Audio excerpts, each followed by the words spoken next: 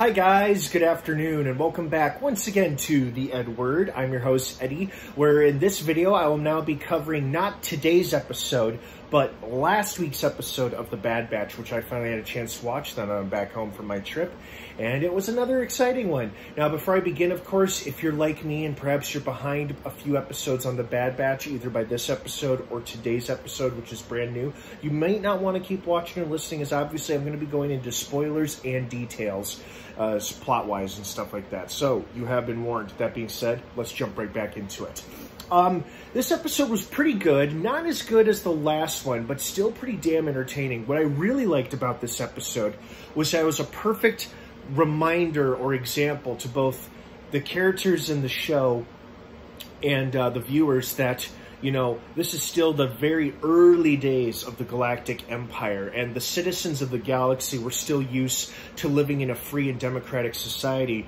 But that was quickly squashed when the Empire tried to install puppets uh, in power on different planets, as we saw them try to do with this planet. But this senator seemed to have a backbone and uh, a, a good sense of right and wrong and refused to be an Imperial puppet, and even told his people out loud in front of the Imperial captain and her troops that they shouldn't uh, comply with and uh, live as, um, li not live as slaves, but live as like their, um, what's the term I'm looking for? Like, um, shit. Well, I'm losing the term, but basically they shouldn't have to live under the thumb or shadow of the Empire because it's clearly not the Republic. And the way that the captain ordered the clone troopers to move in and disperse the crowd with troops and tanks was a pretty good reminder of that.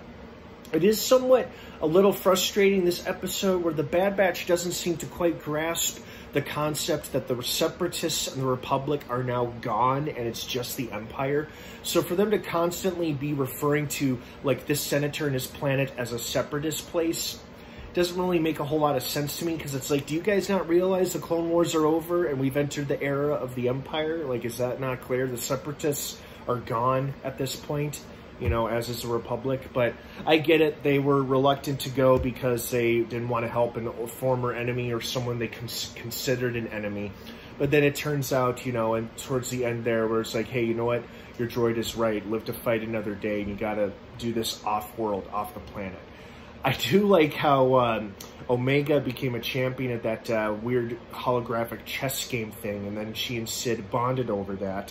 And not only that, but helped them pay off their debt to Cid, which was one of the reasons why they kept working for her as mercenaries, because they had to pay off all the debt they owed her, like both in terms of money and supplies that they had charged to her name. And hey, Omega was able to be a big contributing player after all. And I hope that this has been a lesson for Hunter, where he learns that Omega should be considered an equal member of the team, of the squad, and she shouldn't be undermined and undervalued like, you know, he had treated or displayed towards her in other episodes. And of course, it was all out of, you know, a deep, loving concern, of course. You know, it's just trying to keep her safe. But at the same time, hey, the kid's a lot more capable than you realize. So, lesson learned, right, Hunter? So, oh, the other cool thing I liked about this episode, because that voice was very familiar to me. I'm like, who is that voice of the senator, of the senator who stood up to the empire? And it turns out it's Alexander Siddig. And a lot of us would know him best as Dr. Um, Bashir from Star Trek Deep Space Nine, one of my favorite Star Trek shows.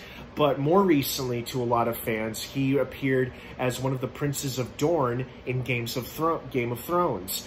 And uh, it's so cool now that he has played both a character in Star Trek and now voiced a character in Star Wars. So I thought that was a little fun tidbit, which put a smile on my face. And um, overall, pretty entertaining episode. You could argue as filler, but I thought it was a great reminder to both the characters and the viewers that the Republic is gone and it's the Empire's time to shine. And by shine, I mean, you know, rule the galaxy with an iron fist and impose it on unwilling citizens. So it'll be interesting to see how the rest of this season uh, portrays or, or portrays the Empire and reminds both the characters and the viewers, hey, Empire not good.